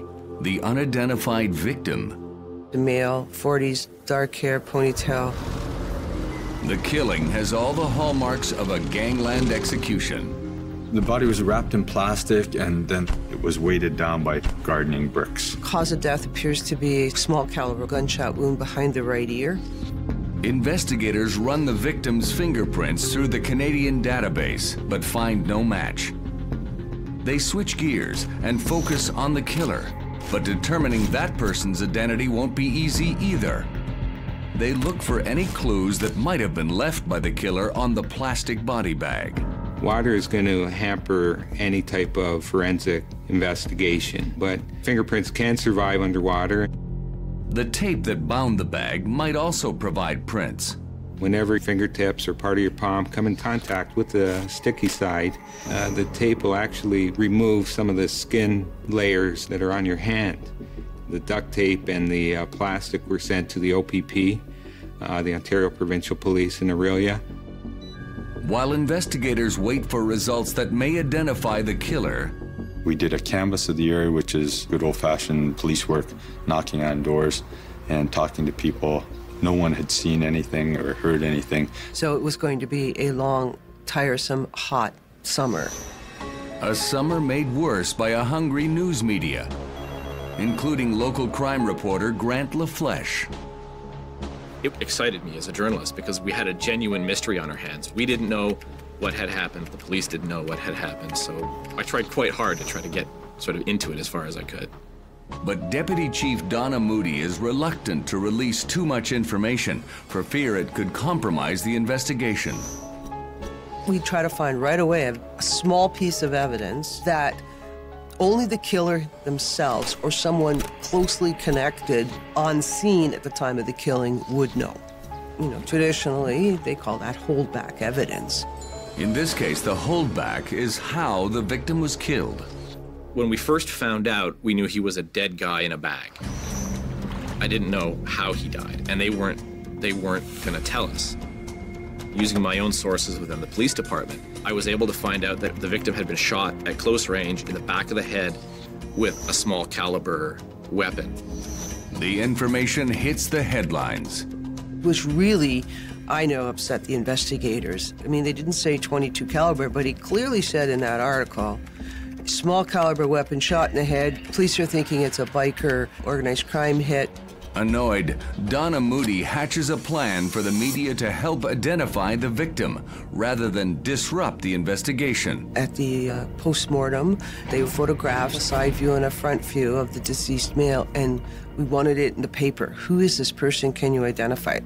They released to the press this morgue photo of the murder victim, just his, just his face. And my first reaction was, okay, great, let's run it. But the higher ups at the paper decide the picture of a corpse is too much for their readers. And so we did not run the photo. We were disappointed they didn't run it, but we, we were making progress in another area. Namely, trying to identify the body by identifying the origin of the canvas bag. The bag that he had been put in was a U.S. military style kit bag, so there was a thought that he might be American citizen. And if so, could police find a fingerprint match for their victim in the U.S. database? The AFIS operator for Niagara Regional Police took that fingerprint over to the United States. Physically took them over and entered them into their system, and the victim was subsequently identified. Three days after his body was pulled from the water, police finally have a name for their victim. Paul Campagna. Everything matched our victim, which was great because that's number one. You can start looking for your timeline, your, what's happened in the past. Police learn Paul Campagna grew up in a Buffalo suburb. So, how did he end up dead in an Ontario quarry? Once we identified him, we went to the family immediately and notified them of the, the sad discovery. Paul Campagna's sister, Ida, arrives home from work that night, unprepared for the horrifying news. I see police cars in the driveway in front of our house, and my mother is pale as a ghost sitting in the living room. Law enforcement officers tell me that my brother had been murdered. And I, I couldn't grasp what was being said to me. Who had done this to my mother, who had done this to our family? If Paul Campagna was involved in organized crime or biker gangs, he had an unlikely background. Paul went to medical school. He went to Dartmouth, which is, you know, Ivy League. He did very well. He became a medical doctor.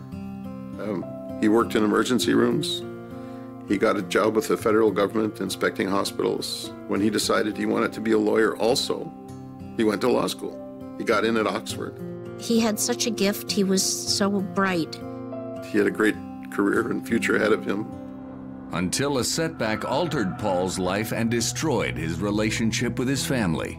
He had been in an automobile accident, had injured his back, that had left him with uh, inability to work. He had an unsuccessful operation on his back, so he was in a lot of pain. He dropped out of his career. He grew increasingly estranged from everyone, including his devoted mom. One time, my mother was in the car, and Paul passed by the car, tapped on the window, and didn't speak with her or anything, and walked away. That must have been heartbreaking for her. They said they thought he'd maybe been working at the university helping exchange students. The grief stricken family can provide no explanation why someone would brutally kill Paul. Investigators turned their attention back to Niagara, where his body was discovered. Now that we have the name, we do our own local records check. When we ran the name Paul Campagna, it came back as having one contact with the Niagara Regional Police Service. Previously, he'd been involved in a motor vehicle collision in the city of Niagara Falls. Police checked the car's registration, and the results are puzzling. The registered owner of the vehicle uh, is not Paul Campagna. The registered owner of the vehicle uh, is a female. The name on the registration is Hiromi, a student from Japan attending the University of Buffalo. We ran the name through Canada Border and Immigration checks and found that there was a lookout for her regarding her living illegally in Canada at an address on Orchard Avenue. Donna Moody assembles a team to investigate the property. When we did check the address, the vehicle was in the driveway. We watched the residence for a little while, no movement in and out, didn't appear to be anybody in there. The yard itself was a little overgrown, and looking over the fence, there was a, a pool, in ground pool, that hadn't been cleaned, and the water was green and dirty. We surreptitiously did some canvassing of the neighbors. They described basically Paul Campagna pretty well from our descriptions. Mentioned that there was a young Japanese female that lived there also. We set up surveillance to see if there was any comings and goings at the address, and there was nothing overnight. Police begin to fear the worst. The paramount question at this time was, where's Romy? Niagara police have more questions than answers in the execution-style murder of Buffalo doctor Paul Campagna. Information from border security leads them to a large home in Niagara Falls where the victim lived. The house is rented to a 27-year-old student from Japan named Hiromi, but there's no sign of her. Is she a witness? Is she a suspect? Or is she another victim? It didn't look like there was movement, no movement in the house. On our second day of doing surveillance, we decided we would attempt to get a search warrant for the residence. In addition to searching for Hiromi, we're looking for any evidence that may connect this house to the Quarry Road scene. It may very well be the crime scene, so we were very anxious. We were all waiting for the search warrant. Days after Paul Campagna's body was pulled from its watery grave, police are granted a search warrant for the house where he lived. The house was basically um, abandoned. Found a very pristine, extremely clean residence with very little furniture. There was one mattress that was lying on the floor, very little clothes, um, very little in the house that indicated that it was lived in. Police are grateful for what they don't find. Once inside the house, we realized there was no other victim in there. The focus of our investigation was to find her safe. We drained the pool looking for any evidence, and there was nothing there. The forensic team searches for anything that could link this house to Paul Campagna's murder. We found sheets of heavy black plastic similar to what wrapped the body. We found duct tape. Has Hiromi suffered the same fate as Campagna? Where is the Japanese female student? The search warrant included the vehicle that was parked in the driveway that was registered to her. There's no evidence of Hiromi inside, but what they discover in the car provides a surprising lead. In the trunk area, we found several bags of uh, dried marijuana leaves. There was dirt, there was the stalks of the marijuana plant. Clearly, that would indicate to us that there was cultivation going on. We didn't find any evidence of marijuana grow in the residence. Police review the home's power bills and look for high electricity consumption, the telltale sign of a marijuana grow-op. The hydro records showed an inordinate amount of use earlier in the year, so we assumed that there had been a grow at one time on Orchard Avenue, but it had been moved. Where it went is as much a mystery as Hiromi's whereabouts. We did some background checks on Hiromi and found an emergency phone number from her Buffalo University records. Mark Lightfoot, the detective in charge, placed a cold call through uh, to Japan to the number. He got through on the number. And I asked if it was Hiromi, and she said it was and I quickly identified myself as a police officer in Canada in Niagara Falls. He tells her Campagna has been murdered. She became very quiet, and I asked her about her relationship with Paul Campagna. She said they were friends. She was uh, taking courses, and as part of her courses, she traveled around the world. He stayed at the house as the keeper of the house. Uh, she left the car there with him. She was forthright enough in saying that she had been living with him and she had rented the residence for him. And so I was quite confident it was Hiromi. She tells police that five months earlier, she found Campagna was growing pot in the house and ordered it removed, which he did. And though Hiromi insists she had nothing to do with Paul Campagna's murder, certainly didn't eliminate her as a suspect or a possible witness. She seemed quite evasive with me on the phone. They notified Japanese authorities about the investigation. Eventually, we got information from the Japanese police that she was, in fact, out of the country according to her passport and back in Japan at the time of the murder. Police examined the Orchard Avenue phone records for the days leading up to the murder. Because they now know Hiromi had moved back to Japan, they presume all the calls were made by Paul Campagna. Search warrant is obtained in searching the records from that phone. We were following up all the records and talking to everybody who'd been phoned from the address. The majority knew the man as John. But if Campagna was the one living in the house, who is this John who made countless calls from it? Police interview the people phoned from the residence. They knew very little about the man that they called John. He was very secretive. They'd met him at coffee shops or in passing through other friends and acquaintances, but he always portrayed himself as a drug involved individual to them, somewhat involved with organized crime. He used terms of Big Tony and Sammy and different words like that to give the impression that he had some connection to the underworld. They're quite well known names in organized crime in Niagara Falls. By showing people photos of the victim, police established that the man known as John is actually Paul Campagna. So was this former medical doctor and teacher actually connected to organized crime?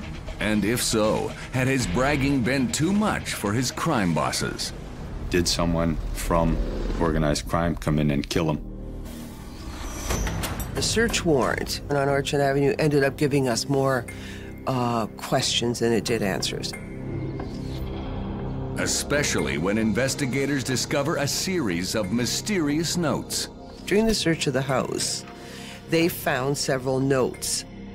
They were handwritten notes written to a person by the name of Matt. It's directions telling him to clean the pool, to clean the house, to do this, to cut the grass and stuff like that. They had an oppressive type tone to the note. The notes were almost like it was an employee that was being told, do this, do that, very demanding. Yeah, they were almost demeaning uh, in, in the tone. There was no Matt on the telephone records. We didn't know who Matt was. The hunt to find the killer in the mob style slaying of Paul Campagna has police focused on one name Matt. They've eliminated Hiromi as a suspect, the woman who rents the house where the victim lived. She was, in fact, out of the country according to her passport and back in Japan at the time of the murder. But in the house, investigators find notes ordering the unknown Matt to complete menial tasks. It's almost like Matt is a houseboy or some sort of uh, errand runner. Now we have a third concern. Where's Matt? Because he was clearly in this house. Five days after fishing Campagna's body out of the quarry, Matt's their best lead. We uh, go around canvassing neighborhoods. Do you know a Matt? And they all described a young male, about 20, 21 years old, short blonde hair, that was doing jobs around the house, but they hadn't seen him in several weeks. Confident that the young man neighbors described is the Matt named in the notes, investigators issue a bulletin to the entire police service. Does anyone know a Matt connected to Orchard Avenue in, in Niagara Falls? As investigators struggle to locate the elusive Matt, a seemingly unrelated call comes in that will set in motion a stunning chain of events. The Street Crime Unit's Terry Thompson, armed with a search warrant, responds to a call from a concerned Niagara landlord. He noticed some unique things about the residence. He hadn't seen the, the tenant in a couple weeks. The, the lawn was unkempt. He went in the front door uh, to check on the residence and saw some marijuana plants and backed out and uh, called the police. My first instinct when I walked in there was this is a lot bigger than the landlord really thinks it was. Throughout the McGrail Avenue house, Thompson and his team find close to 1,200 marijuana plants that are dead or dying. To me, it looked like someone had kind of taken off right away and left them for some reason. As his team examines the house, Thompson spots something that brings his search to a screeching halt. No one had started uh, dismantling the grow or any part of it because I was waiting for other people to show up before we dismantled it. So I was walking around the front living room area, and that's when I saw a small box with maybe four or five books in it. When I went to lift the box, I had the edges of the of the cardboard. The invoice flipped backwards to me. Shivers went down my back when I read the address. The box is addressed to Paul Campagna's home, just 15 blocks west on Orchard Avenue. Is there a link between this grow op and Campagna? And if so, could this be the scene of his murder? I was gathering people around and telling them we got to get out of here because it might be linked. I wanted to make sure nothing was disturbed in the house. Suddenly, the name of the tenant listed on the search warrant becomes significant. When I made the application for a search warrant, the information I had from the landlord was a guy named Matthew Bowden. And then it just hit me like a brick. Oh boy, Matt, Matthew Bowden. Could the Matt that investigators are desperately searching for be the Matthew Bowden who rents this house? Now we've got a box with the address, something to do with marijuana grow ops, connects us to Orchard Avenue, so we're starting to connect those dots. We suspended the marijuana grow op search as we thought this house could be involved in the murder. Without that link, uh, it would have been very easy for detectives to, you know, tear down the grow operation. You're bagging things, you're moving soils, you're moving chemicals. There's, there's quite a big mess. It would have destroyed all the evidence that may be there for the homicide. Forensic lead Paul Granton takes charge of the house. There's no initial evidence that this is the uh, murder scene. Then Granton finds two keys on the coffee table. Could they help unlock this case? At the beginning, we, or we see the set of keys. One key will open the door to McGrail Avenue, but the other key, we don't know what door that's for. The forensic unit had asked me go try these keys and see if they fit Orchard Avenue. Uh, I suppose just on a whim, um, and uh, they did. It opened the door there. They've connected the houses, but Where is Matt? Where is he? Is he a victim? How do we find him? From the landlord, police obtained startling information from Matthew Bowden's rental application. One of the references when we went and looked was Hiromi and the phone number at Orchard Avenue. Another link between Matthew Bowden and Paul Campagna. Police search Campagna's phone records and find calls to someone with the last name Bowden in the nearby town of Dunnville. It turns out to be a number for Matt's parents. And they told us, well, he's fine, he's alive. He was now at home in Dunnville and was working at his two part time jobs in, in the town of Dunnville. Matt Bowden is arrested for drug cultivation and taken into custody. Two weeks after 49 year old Paul Campagna was shot, bagged, and dumped, police still don't know who committed this horrific crime. Their only arrest is the victim's 21 year old drug associate, Matt Bowden, who's suspected of running a Niagara grow op. They arrested him for the charges of cultivation of marijuana in relation to the McGrail Avenue search warrant. In addition to running the grow op, it seems that Bowden was also tasked with taking care of Paul Campagna's nearby residence. He was a very quiet, um, intelligent young man and seemed to be way over his head in this whole situation. When I saw him, it was quite shocking to me, really, because I said he looked like the boy living next door. You know, young, 21 years old. While in custody, Bowden appears remorseful and owns up to his role in the drug operation. He admits that he was the renter of the residence and that he was doing a, a marijuana grow there, and he admits to being friends with Paul Campagna. Bowden claims he purchased the marijuana plants through an acquaintance, but Campagna confronted him and insisted the plants belonged to him. And the person in the town that had sold them to him had no business doing that. They were his plants, and he wanted them back. He said that Mr. Campagna portrayed himself as being a member of organized crime and that he had some very strong connections. A situation of threatening and, and him not being really experienced enough to know what to do. According to Mr. Bowden, he was doing the, the grow and all the errands to try and pay off between three and five thousand dollars in debt to him. Could Matt Bowden have killed Campagna over his debt for the marijuana plants? He seemed shocked that he was dead. He said he hadn't seen him in a while and had nothing to do with his death. I owed the guy, he was threatening me, and I was trying to, to pay this off, but in no way that I had any involvement in his death. The next day, Matt Bowden is fingerprinted for the drug possession and trafficking charges and released to appear in court later. Desperate for a new lead and a new suspect, police return to the McGrail Avenue home. We're very, very hopeful we were going to find the scene of the crime. As the forensic team examines the house, they find crucial evidence that links it to the murder of Paul Campagna. Inside the house, we did find the dark plastic and the uh, duct tape. And We found rolls of clear packing tape that was similar to the packing tape that wrapped the body. The house on McGrail Avenue is now tied into the dump scene on Quarry Road. But police have no proof this is the scene of the murder until they come across a gruesome cover up. There was a large piece uh, of carpeting that was cut out of the carpet in that home and had been partially covered up by a chair.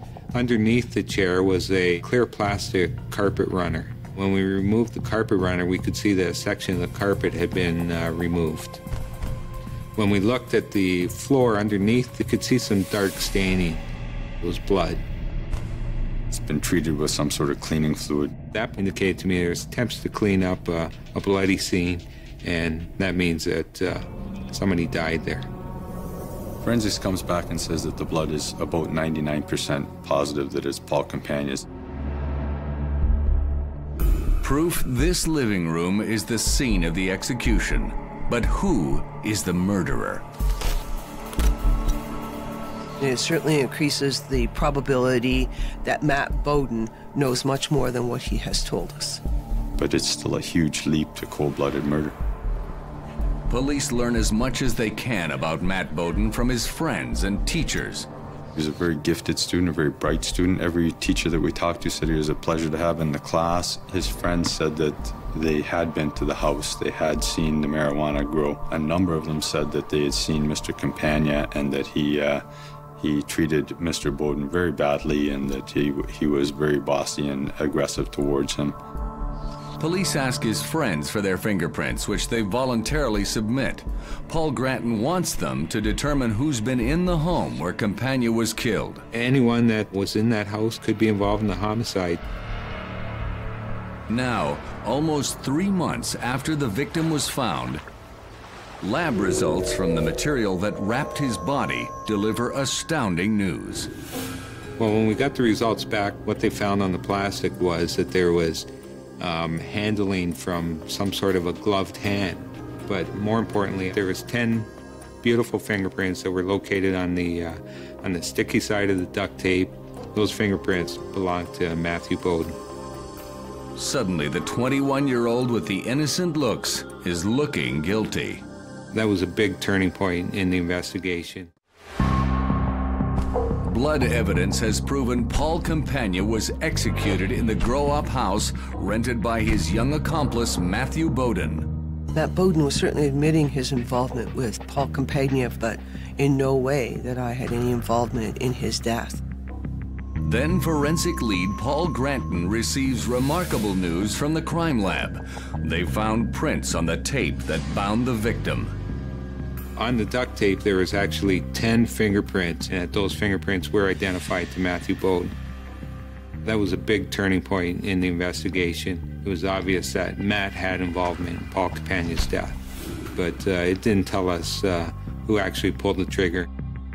Especially when new evidence has police questioning whether Matt Bowden is in fact their killer.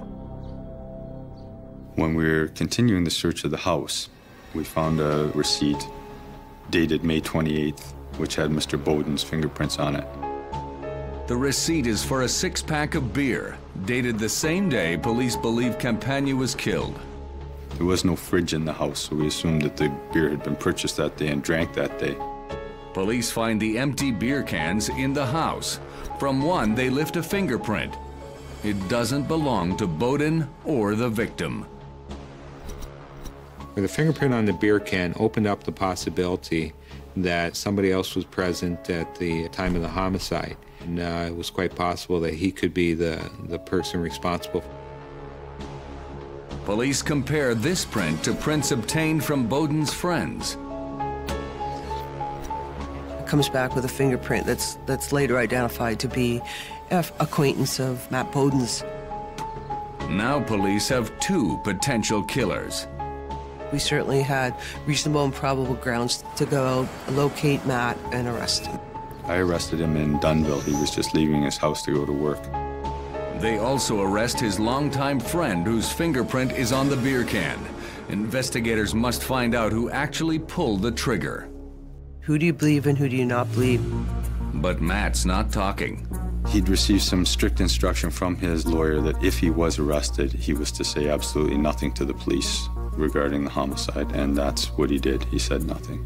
But in another room, Matt's friend says plenty. He makes a deal and reveals what happened. He denied any involvement in the, the execution style slaying, but admitted if he did not get charged with anything that he was involved in helping to move the body. He admits that Matthew Bowden had called him earlier and to say that, you know, uh, Paul Campagna was dead and he needed help. The friend said that he showed up at the house. He had to be convinced to help, but he ended up showing up at the house. Matthew was wrapping the body. He come in, he assisted him, obviously had one of the cans of beer. Mr. Bowden had rented a U-Haul for the day and drove to the quarry and dumped him over the side. But had Matt killed Paul Campagna, or had he been left to clean up someone else's mess? Police confront Matt with his friend's account of what happened. We went back to Matt and we showed him the interview that we just conducted with his friend, and Matt still didn't say anything about the, the homicide. To build their case, police need to find the weapon used to kill Paul Campagna. If the young man had committed the murder, where did he get the gun? Investigators re-interview Matt's friends, then hear a startling story from one of Matt's acquaintances. She recalled overhearing a telephone call between Matt Bowden and her boyfriend, uh, where Matt had asked him if he could supply him with a gun. And then finally, two of Mr. Bowden's associates admitted that he had asked him for a gun for protection. What else can you tell me about the gun? I said I could help him out with that, and I had brought it to him. What kind of gun was it? It was a 22. The same sized bullet used to kill Paul Campagna. That was part of the whole back evidence. Uh, it was, in fact, a 22 caliber firearm that was used to kill him. Although the search of the McGrail Avenue house has turned up no firearm, police had found some incriminating items. One of them was a scope for a uh, rifle. There were receipts from uh, U-Haul rentals. There was an index card from the library, and on the back were some writings that we determined to be how to make a homemade silencer. But are they Matt's? Fingerprints are pulled from the index cards and matched to Matt. That, coupled with all of the forensic evidence, we certainly had reasonable and probable grounds to believe that Matthew was the killer in this homicide. Police have arrested 21 year old Matt Bowden for the first degree murder of Paul Campagna. They've linked him to the homicide with overwhelming forensic evidence, including his 10 fingerprints on the tape wrapped around the murder victim. He had left this bungled trail of evidence behind him. Bowden says he owed thousands of dollars to Campagna for marijuana plants. And he was working off his debt to Paul Campagna by doing odd jobs, helping him tend to plants, helping him to do certain things in the house. But when Bowden tried to flee the situation, he claims his family was at risk. He said that Mr. Campagna threatened him, threatened his brother, threatened his family, and in fact was picking up the phone saying he was calling someone to kill his family. And that's when he, he, uh, he shot him. Matt Bowden has finally confessed. He wasn't an accomplice to Paul Campagna's death, he pulled the trigger. And what of Matt's claim that Campagna had threatened to get one of his crime world connections to slaughter Bowden's family? There were names being thrown around that I recognized that if it was true, he would have certain backing from members of organized crime. But was Campagna bluffing just to keep Matt under his control? Donna Moody asks her colleagues in intelligence to verify Campagna's claim. Nobody knew him in that world. There was no connection to Paul Campagna in that world. And there's lots of ways to check that connection out, and there was no connection. But police believe Paul Campagna isn't the only one who's been telling lies. They doubt Matt or his family were in any danger from Campagna. Even Matt Bowden's lawyer has trouble believing his client's version of events. I had difficulty in dealing with the explanation that the deceased had threatened his family and his brother, and he couldn't extricate himself from this. I had very little direct evidence of the alleged misconduct by the deceased. Very little. The victim's family rejects Bowden's explanation as well. It's not self defense when the other guy doesn't have a gun. And if it's self defense, why would you go through that trouble to get rid of the body to hide the crime? Looking at the trajectory of the bullet, Paul was probably asleep when he was shot. Paul was laying there defenseless, and he put the gun behind his ear and pulled the trigger. He did not need to kill my brother. Paul was probably growing marijuana to fund his law school. So, what was Bowden's motive for killing Campagna? There are some witness statements that indicate that Matthew had said, I'm going to rip him off for the grow op. It was possible that he uh, just wanted to cut Paul Campagna out of it. Nobody knew what happened in that house that night. No one but Matthew Bowden, my brother. Police learned that after the murder, Matt Bowden rented a truck to remove the plants. The first time the truck broke down, the next time, police were at the house. Whatever the motive, the evidence proves Bowden pulled the trigger.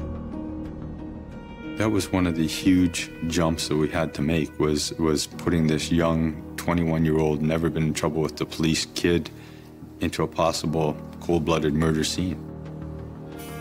Bowden pleads to second-degree murder and is handed a life sentence with no chance of parole for 10 years. It's certainly a tragedy all around for everyone involved. Mr. Campagna was a, a, gifted, brilliant man who just didn't find his way in life. And Mr. Bowden was 21 years old with his whole life ahead of him. Really did believe it to be some type of organized crime biker.